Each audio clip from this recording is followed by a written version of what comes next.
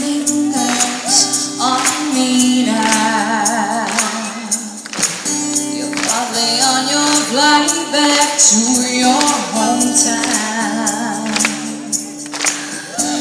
I need some shelter of my own protecting, baby, and to be with myself and serenity, serenity.